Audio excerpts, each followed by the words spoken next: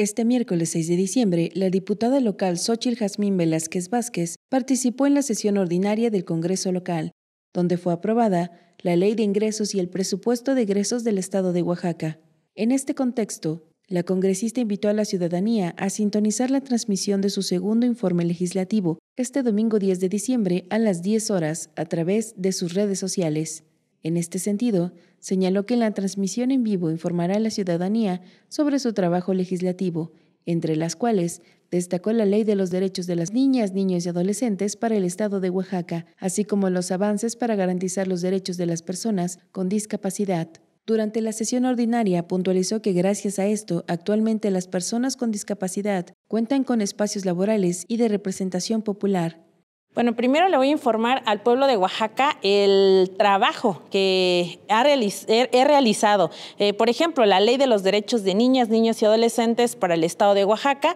y los avances que hemos realizado respecto a garantizar los derechos de las personas con discapacidad, porque ya se tienen adquiridos eh, los derechos para garantizarles a las personas con discapacidad espacios laborales, así también como espacios de representación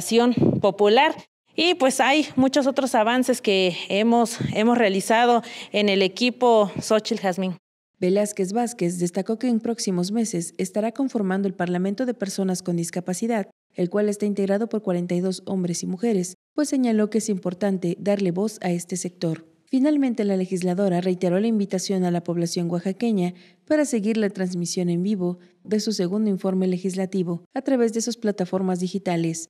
Quiero invitar al pueblo de Oaxaca a que estén pendiente del informe de actividades legislativas que vamos a presentar este domingo 10 de diciembre en punto de las 10 de la mañana, que sigan la transmisión en vivo que se va a realizar a través de las diferentes plataformas digitales como Facebook, e Instagram y se pueden conectar en la página del Congreso del Estado o en las redes sociales de Soche Jazmín.